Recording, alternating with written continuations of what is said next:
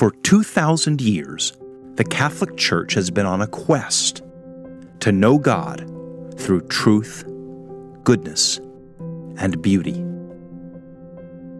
And there is no better place to discover this quest than in Italy.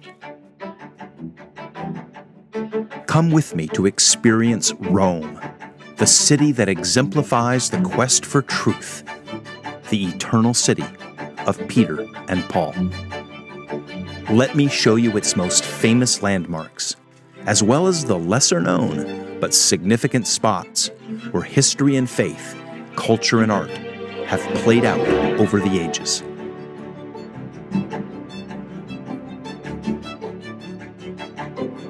Then let me introduce you to one of my favorite cities in Italy, Orvieto, where a Eucharistic miracle occurred during the darkest hours of the Middle Ages.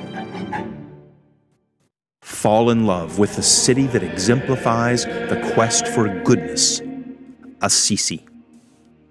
We'll walk its streets to discover the lives of St. Francis and St. Clare. Let me show you the chapel where Christ told Francis to rebuild his church and where he wrote the Canticle of the Creatures to Brother Sun and Sister Moon. Let's walk together through the medieval streets of Siena and visit the home and tomb of Saint Catherine, Doctor of the Church, whose courageous faith influenced the course of the papacy. We'll finish in the city that exemplifies the quest for beauty, Florence, the jewel of Tuscany, the city of creative geniuses like Dante and Michelangelo, who turned faith into art that changed the world. Grow in faith and knowledge with One Whirling Adventure and 206 Tours.